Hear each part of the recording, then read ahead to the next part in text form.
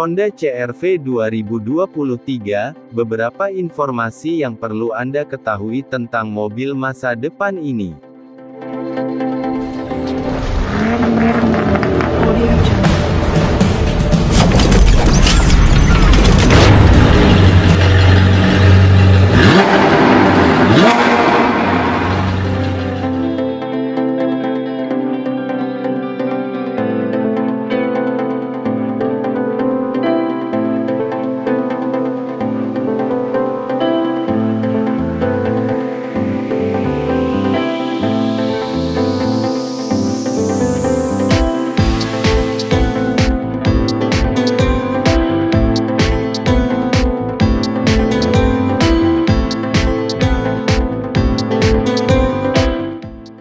Honda CR-V 2023 generasi baru akan diluncurkan akhir tahun ini, untuk memberikan model baru kepada pelanggan Honda di Amerika Serikat dalam model kompak, subkompak all-new Honda HR-V, dan ukuran menengah 2023 Honda Pilot, segmen SUV.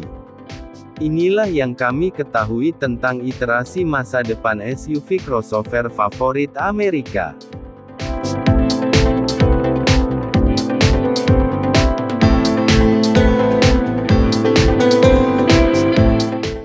Eksterior, sebuah gambar paten yang diduga dari CRV 2023 muncul secara online pada tanggal 18 Februari tahun 2022.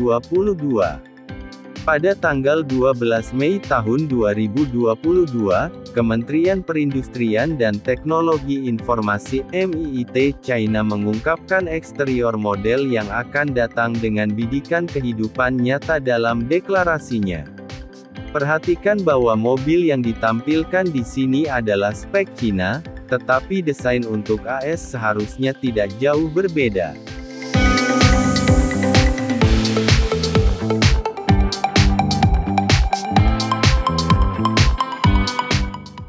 CR-V generasi berikutnya menampilkan eksterior yang lebih maskulin. Kisi-kisi radiator yang lebih tinggi dengan sisipan mesh heksagonal chungki, asupan udara lebih rendah yang lebih lebar, bumper yang lebih sporty, kap yang lebih tinggi dan lebih lurus, dan lampu depan yang lebih ramping membuat model yang didesain ulang ini tampil mencolok di bagian depan. Di bagian samping, CR-V 2023 tampaknya memiliki jendela yang lebih besar dan kaca bagian belakang yang lebih tinggi, yang seharusnya membuat perjalanan jauh lebih nyaman bagi semua penumpang. Di bagian samping, CR-V All New memiliki rumah kaca yang lebih bersudut yang membuatnya terlihat lebih persegi dan tangguh. Ini memiliki garis bahu yang lebih tegas yang dimulai dari sudut atas lampu depan dan membentang sampai ke klaster belakang. Di bagian belakang, CR-V 2023 terlihat lebih dekat dengan SUV dan gerobak Volvo, berkat desain ulang lampu belakang. Klaster berbentuk L menggabungkan pemandu cahaya berbentuk L di bagian bawah. Perubahan penting lainnya adalah reposisi area plat nomor dari bagian bawah bak truk ke bagian atas.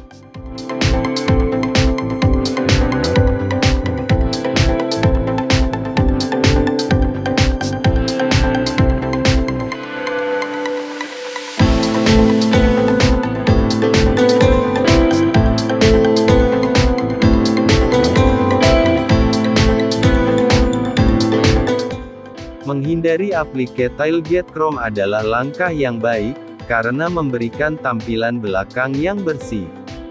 CR-V generasi berikutnya akan lebih besar dari model saat ini, sesuai laporan dari Autocar.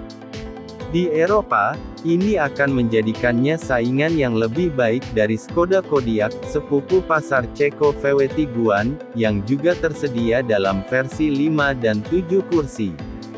Sebagai referensi, CR-V saat ini memiliki panjang 179,4 inci, lebar 71,6 inci, dan tinggi 64,7 inci, 2 WD 65,1 inci, dan memiliki wheelbase sepanjang 103,1 inci.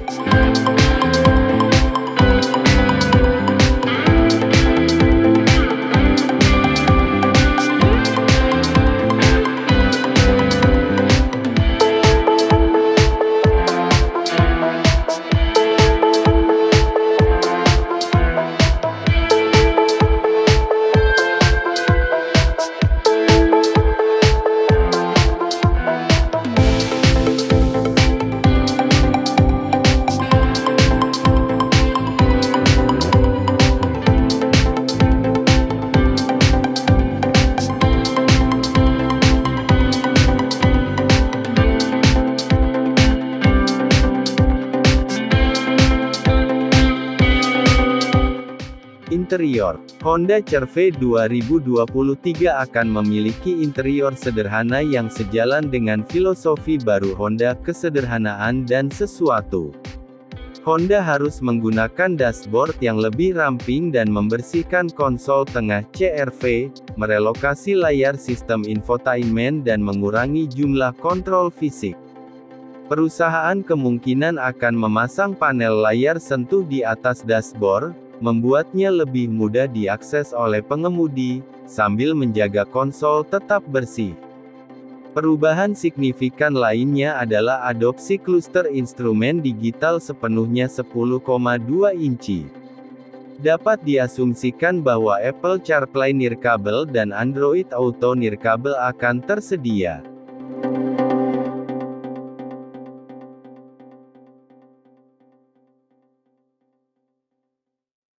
CR-V 2023 kemungkinan akan menampilkan sistem infotainment layar sentuh baru dengan integrasi layanan Google yang lebih dalam.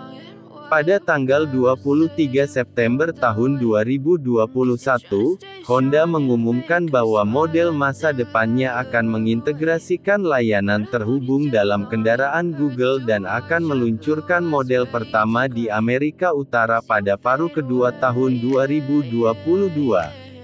Tanggal rilis dan relevansi global menunjukkan bahwa model debut untuk sistem Google yang canggih bisa jadi adalah CR-V baru. Dengan Google Built-in, pelanggan akan dapat menggunakan Google Assistant, Google Maps, dan Google Play secara langsung melalui aplikasi asli yang diinstal pada sistem infotainment kendaraan.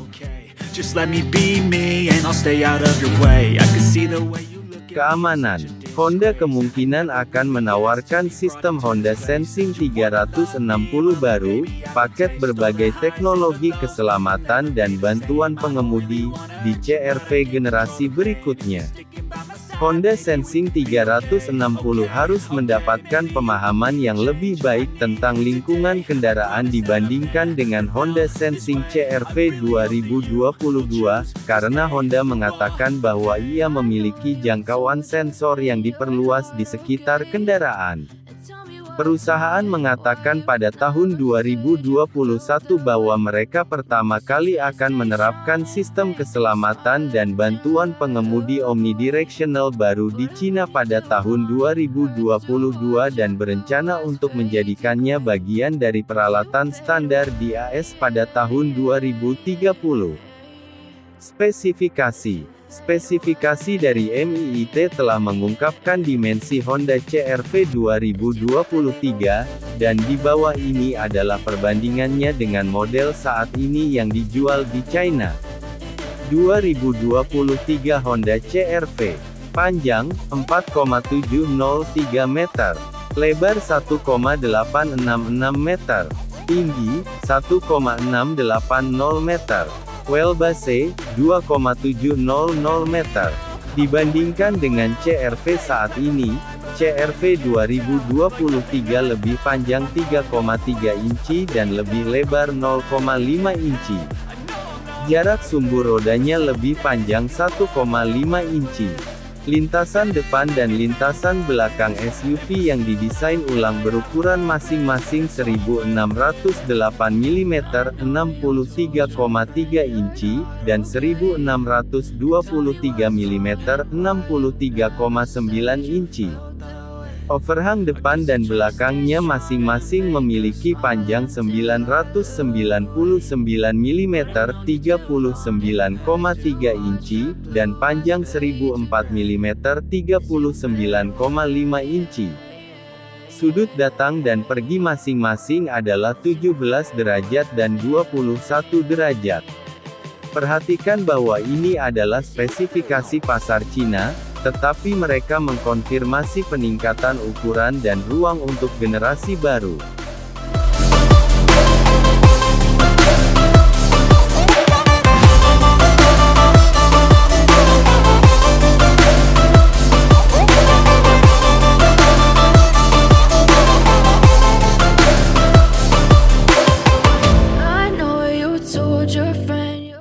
Bagian depan powertrain, Honda telah mengkonfirmasi akan mengungkap all new CR-V secara global dalam powertrain hibrid dan plug-in hibrid.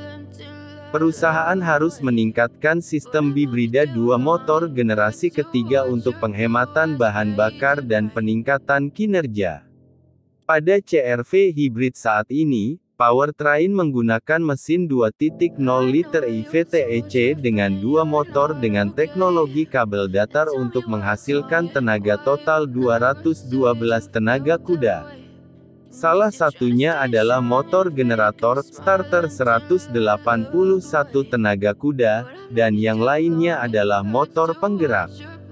Kendaraan beroperasi sebagian besar waktu sebagai bibrida seri. Motor penggerak menggerakkan roda sementara mesin menghasilkan listrik untuk baterai traksi dan atau motor penggerak. Sistem dapat beralih ke operasi hibrid paralel saat melihat kebutuhan akan daya lebih besar. Seperti versi saat ini, CR-V generasi ke-6 harus mengadopsi varian plug-in hibrid di lineup secara global, tetapi ketersediaannya di AS tampaknya tidak mungkin. Honda menjual lebih dari 56.000 unit CR-V hibrid di Amerika Serikat pada tahun 2021, sebuah rekor baru, menyiratkan bahwa lebih banyak pembeli mencari opsi elektrifikasi. Honda telah mengumumkan bahwa mereka akan merilis generasi baru BEV, Battery Electric Vehicles dimulai dengan Honda Prologue pada tahun 2024. Di AS, Strateginya adalah melompat ke BEV dari model hibrid. Di Cina, data MIIT menunjukkan bahwa Dongfeng Honda, perusahaan JV yang membangun dan memasarkan CR-V di negara tersebut, akan memperkenalkan CR-V baru dengan mesin bensin 1.5 LVTEC turbo turbocas 142 kW, 190 tenaga kuda, dan sebuah CVT. CR-V untuk menggantikan Odyssey di pasar global tertentu. Honda membuat CR-V dalam versi 5 dan 7 kursi, tetapi tidak menjual yang terakhir di pasar Amerika. Mengutip bodi prototipe yang lebih panjang, media Amerika berspekulasi bahwa Honda akan meluncurkan CR-V generasi berikutnya di AS dalam versi 5 dan 7 kursi, meskipun kami belum melihat kursi baris ketiga. I'm going through hell. I fake like I'm fine But I know you can't tell. Like nothing I My mind overwhelms. I think that I'm broken But I hope you can't help. I know I'm not perfect But some days I more worthless Baby, you make me feel nervous. If I still have you Di pasar tertentu, CRV 7 tempat duduk baru akan berfungsi sebagai pengganti Odyssey, yang sedang dalam perjalanan keluar.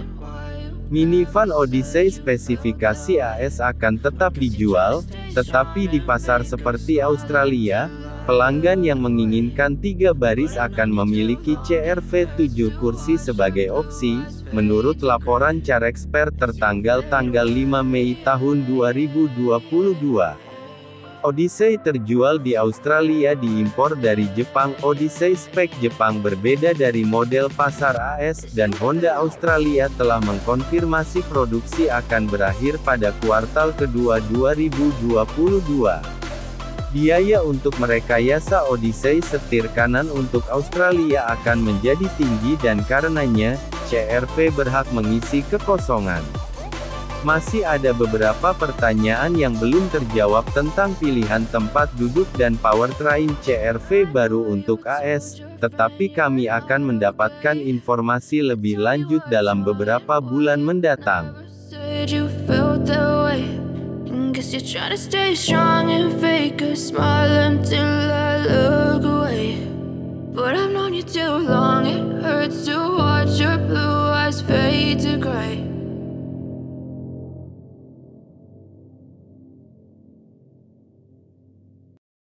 Harga dan tanggal rilis. Dalam laporan penjualan Maret tahun 2022, American Honda mengatakan akan memperkenalkan tiga SUV baru tahun ini. Pada April tahun 2022, dipastikan bahwa CR-V hybrid akan diperkenalkan pada 2022 diikuti oleh Accord hybrid. Merek tersebut juga menyatakan bahwa produksi Insight akan berakhir pada Juni tahun 2022, setelah itu model hibridnya akan diprioritaskan. Harapkan CRV hibrid mulai dari sekitar 27.500 dolar Amerika Serikat untuk varian bensin dan sekitar 32.000 dolar Amerika Serikat untuk varian hibrid, karena bertujuan untuk mengejar RAV4. Sedangkan untuk Eropa, Honda telah mengkonfirmasi akan meluncurkan CR-V All New pada 2023, dan menawarkan varian hibrid dan plug-in hibrid. CR-V mempertahankan gelar Honda terlaris. Meskipun CR-V saat ini berusia 5 tahun, itu terus menjadi model Honda paling populer di Amerika Serikat.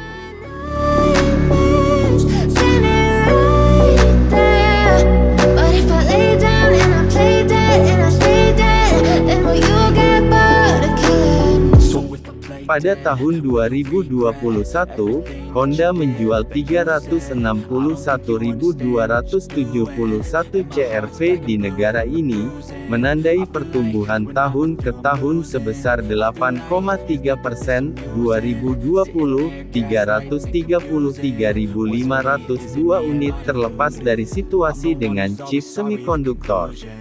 Namun, peringkat nomor 2 di segmennya, dengan RAV4 Toyota mengklaim posisi terdepan. Toyota menjual 407.739 RAV4 pada tahun 2021, tetapi itu menandai penurunan tahun ke tahun sebesar 5,3 persen, 2020, 430.387 unit. Pada Q1 2022, penjualan Honda CR-V turun 37,5% dari tahun ke tahun. Dibandingkan dengan 93.766 unit yang terjual pada Q1 2021, Honda mengirimkan 58.579 unit antara Januari dan Maret tahun ini. Toyota RAV4 kembali unggul jauh, dengan 101.192 unit terjual pada Q1 2022. Namun, dibandingkan Q1 2021, 114.255 unit penjualan SUV Toyota juga turun 11,4 persen.